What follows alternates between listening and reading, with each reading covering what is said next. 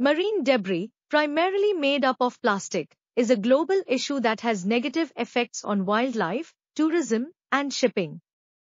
Despite the durability of plastic and the exponential increase in its production, monitoring data shows limited evidence of corresponding increases in concentrations of plastic in marine habitats.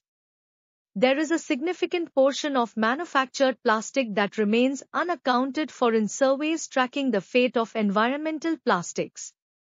Even the discovery of widespread accumulation of microscopic fragments, microplastics, in oceanic gyres and shallow water sediments does not fully explain the missing fraction. In this study, we demonstrate that deep-sea sediments are a likely sink for microplastics. Microplastic, in the form of fibers, was up to four orders of magnitude more abundant per unit volume in deep-sea sediments from the Atlantic Ocean, Mediterranean Sea, and Indian Ocean than in contaminated sea surface waters. Our findings provide evidence for a large and previously unknown repository of microplastics.